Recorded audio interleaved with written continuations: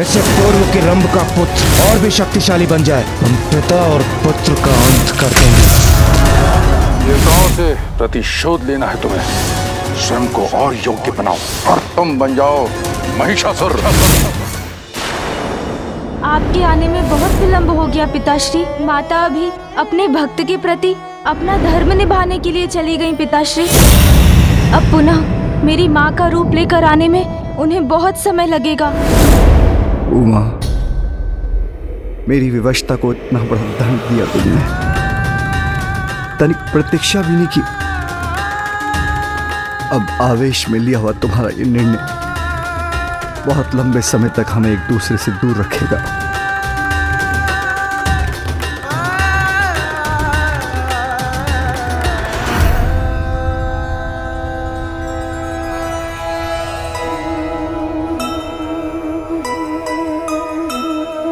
कैसी असहनीय दुख की ये बेला।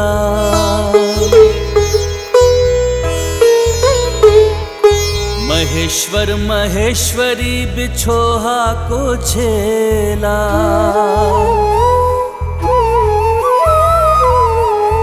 अश्रु में समाहित है जिसके जलधि सारा कर सकती है जल थल जिसकी एक धारा।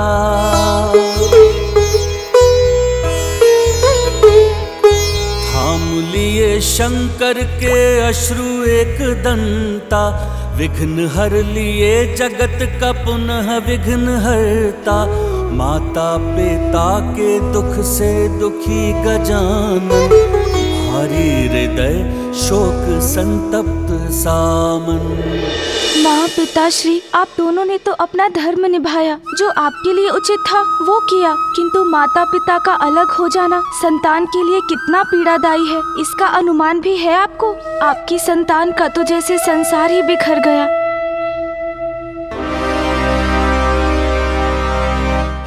गणेश जी हमें कुछ भी करके महादेव को उनके दुख से निकालना होगा। अन्यथा अन्यथा क्या नंदी जी? जब माता सती का देहांत हुआ था तब भी महादेव व्याकुल और और शोकाकुल हो गए थे।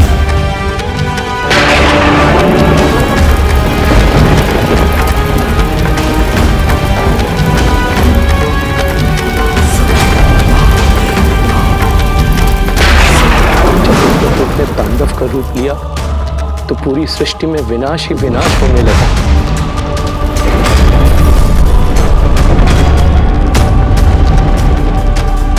तब स्वयं नारायण को हस्तक्षेप करने पर विवश होना पड़ा और उन्होंने अपने अपने सुदर्शन चक्र से माता सती की देह को इक्यावन टुकड़ों में बांटा।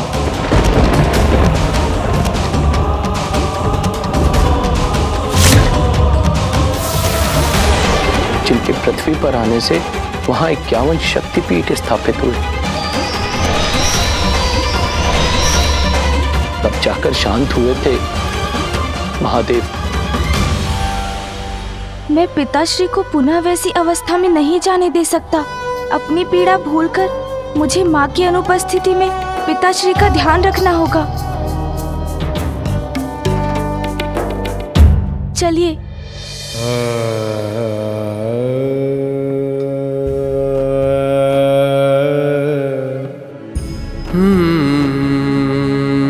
दुखी मत ये पिताश्री। सब पूर्व की भांति पुनः हो जाएगा। माँ लौट आएँगी।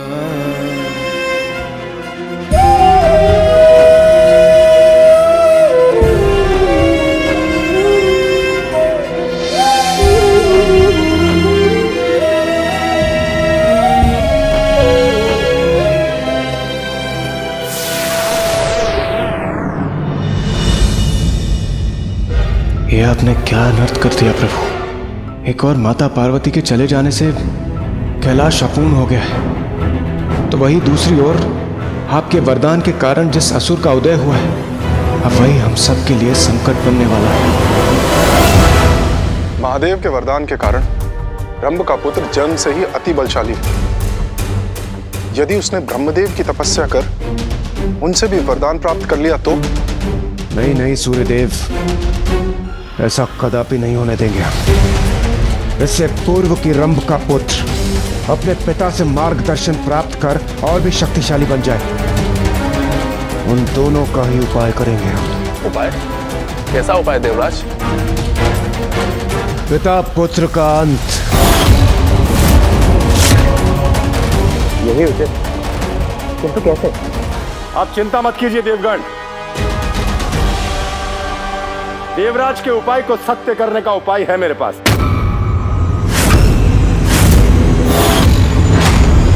आरंभ कैसा भी हो, परंतु प्रत्येक जीव का अंत मेरे ही अधीन है। मैं अपने वाहन महिष को भेजकर छीन लूँगा पिता और पुत्र का जीवन।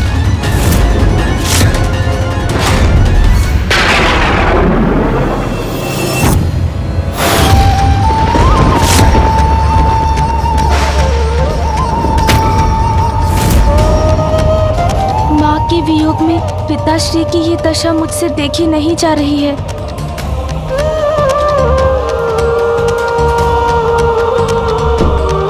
पिताश्री।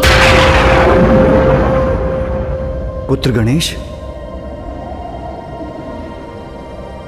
मेरा त्रिशूल कहाँ है? यही है आपका त्रिशूल जहाँ वो सदा होता है।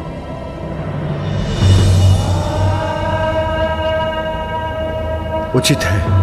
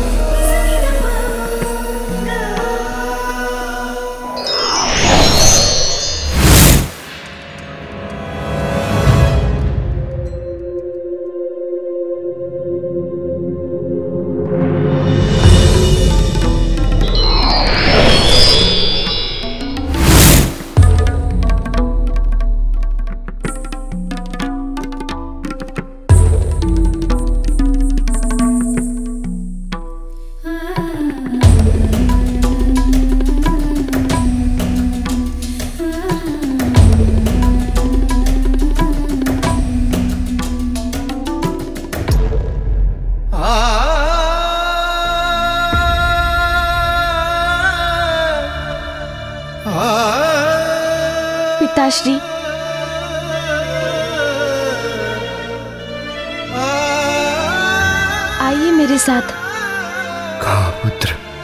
आइए हम पिता पुत्र साथ में भोजन करेंगे।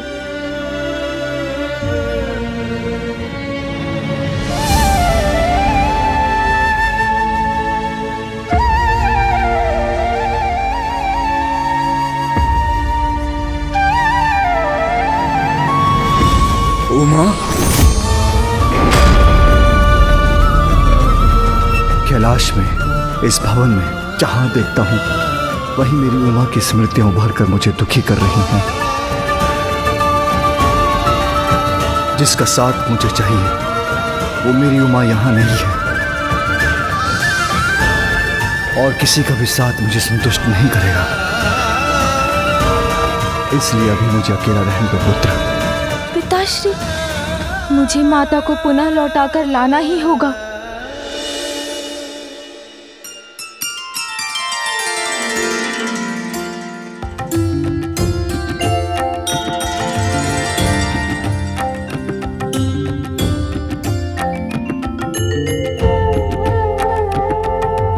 अपने बालिका रूप में कितनी प्रसन्न है।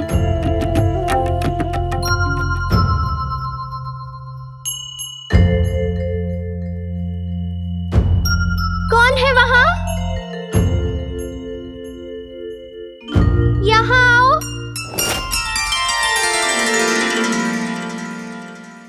छोटे छोटे हाथ पाँव लंबोदर देवा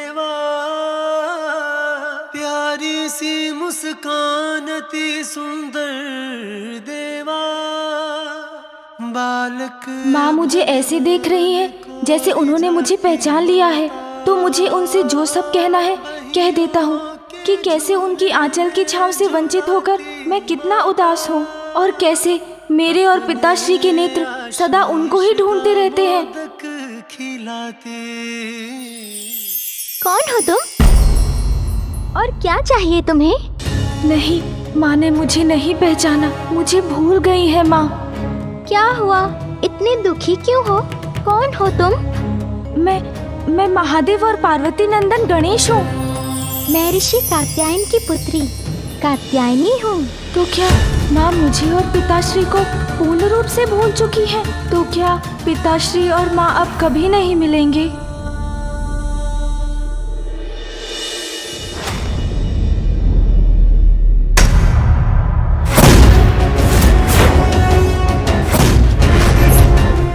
ऐसे दाव लगाते हैं, महिषासुर।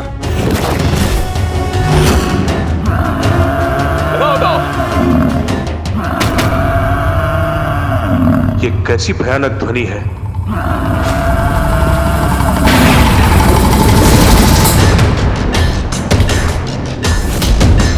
ये कौन आ रहा है यहाँ?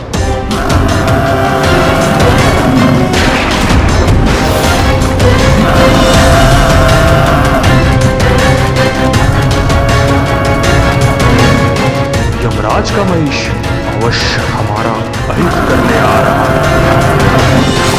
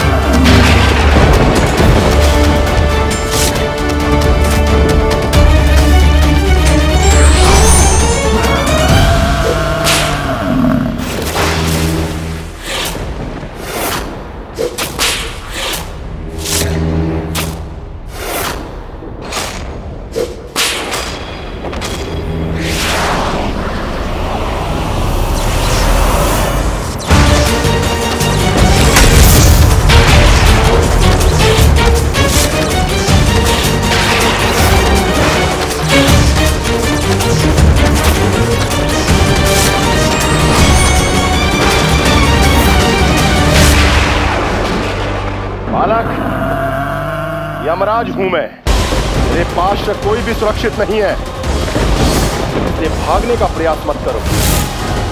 देखो अपने पिता का अंत। अधर्म का प्रारंभ कहीं से भी हो। उसका अंत इतना ही भयानक होता है। सावधान बालक।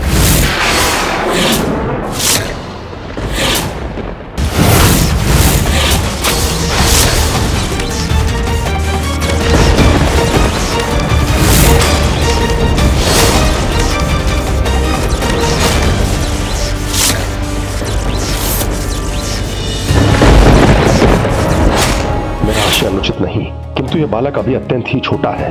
मैं भला इसके प्राण कैसे हर सकता हूँ? नहीं ये उचित नहीं होगा। देवगण हमारे समक्ष कोई दुष्ट असुर नहीं है। पिता की मृत्यु से एक दुखी ऐसा है बालक के प्राण कैसे हरूं आप उचित कह रहे हैं कालदेव। ऐसा अनर्थ नहीं कर सकते हम। एक बालक का वध करने का दुष्कृत हम देवताओं को शोभा नहीं देता।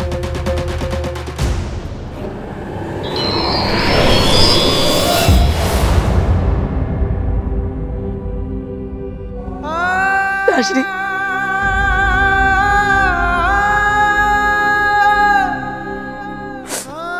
पिताश्री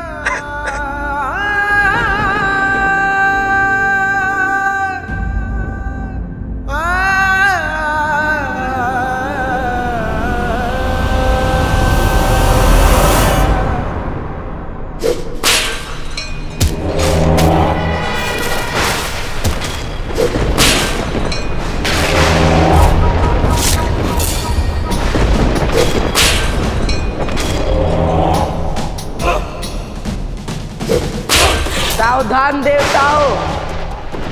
सावधान। कांटा छोटा हो तो क्या हुआ?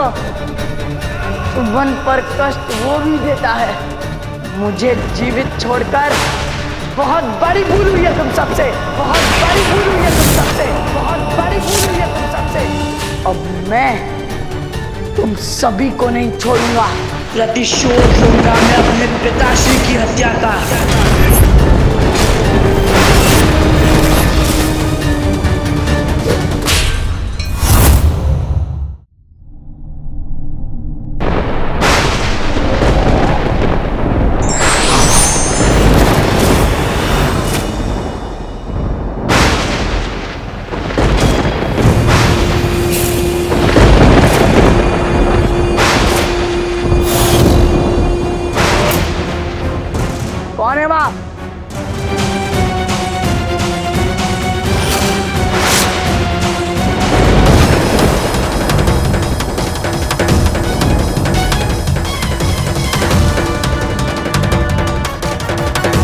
देवताओं के पछताने का समय निकट है। मुझे डराने आए हो या मेरी सहायता करने? कौन है आप? अपना परिचय दीजिए।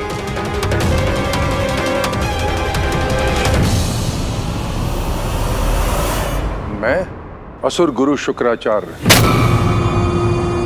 तुम्हारी सहायता करने आया हूँ, पुत्र। अपने पिता को इस प्रकार खोना दुर्भाग्यपूर्ण ही नहीं। दुखद है।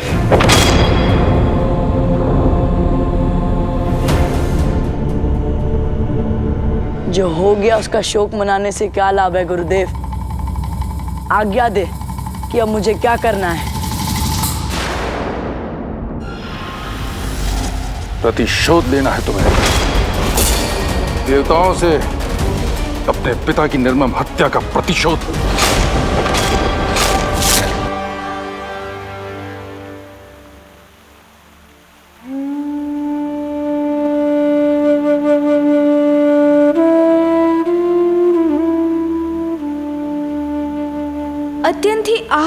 बात से कि माँ मुझे ही अपने पुत्र को नहीं पहचान रही है।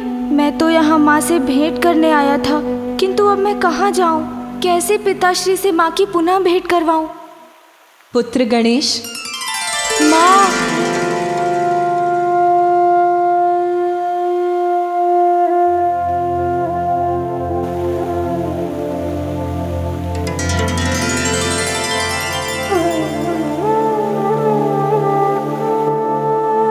यदि तुम्हारे पिता समय पर मेरे पास पहुँच जाते तो कदाचित मैं यहाँ नहीं आती। किंतु क्यों माँ? क्या आप पिताश्री को क्षमा नहीं कर सकती? वो आपके बिना अत्यंत दुखी है माँ। क्या आप अपने इस रूप को त्याग कर पुनः नहीं लौट सकती माँ? नहीं पुत्र क्योंकि मेरे इस रूप के पीछे एक बहुत ही बड़ा उद्देश्य है। महादेव भक्त होने के बाद भी तुम्हारे पिता दीर्घायु न बन सके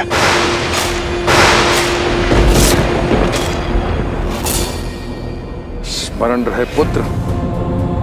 स्वयं महादेव के वरदान से जन्म लेने के कारण अत्यंत बलशाली हो तुम। इसलिए देवताओं से अपने पर हुए प्रत्येक अन्याय का प्रतिशोध लेने के साथ लोक पर असुर राज भी स्थापित करना है तुम्हें।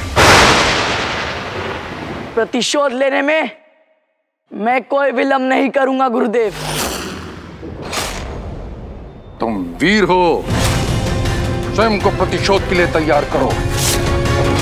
अपने क्रोध की ज्वाला को अपने भीतर जलाए रख। स्वयं को और योग्य बनाओ।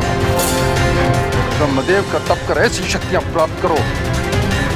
देवता भी तुम्हारे सामने थर थर कांपे। तुम बन जाओ महान अजय असुर, महिषी पुत्र, महिषासुर महिषासुर महिषासुर। कर दो अपना बचपन। अपनी युवावस्था उस कठोर तप में पुत्र। और इस तप की अवधि में महेंद्र और अन्य देवताओं से तुम्हारी रक्षा करूँगा।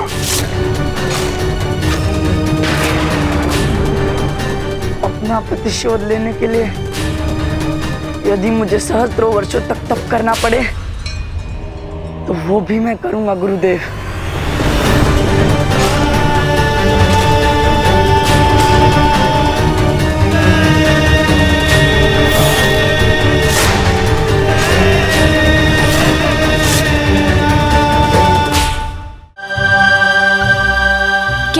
उस उद्देश्य का कारण बहुत ही शीघ्र सबके समक्ष आ जाएगा पुत्र। किंतु उसके पूर्व मुझे तुम्हारी माँ को यहीं रहना होगा। माँ यहाँ आकर आपको विचलित करने की कोई इच्छा नहीं थी मेरी। किंतु जब तक आप अपने इस अवतार का उद्देश्य पूर्ण कर कैलाश लौटेंगी बहुत समय व्यतीत हो जाएगा।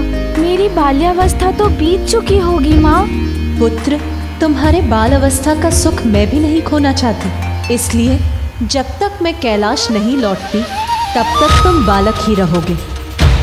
ये मेरा आशीर्वाद है कि समस्त जगत में तुम बाल गणेश के नाम से भी प्रसिद्ध रहोगे।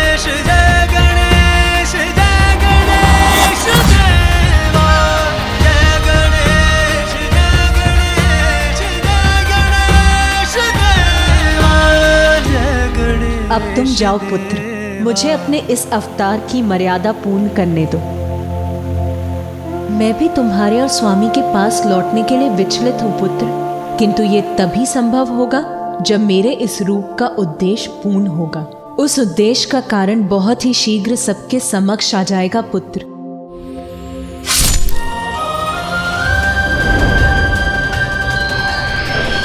प्रतिशोध की भावना किसी भी परिस्थिति में अनुचित है। इससे कुछ भी प्राप्त नहीं होता। ये व्यक्ति को अंधकार की ओर धकेल देती है।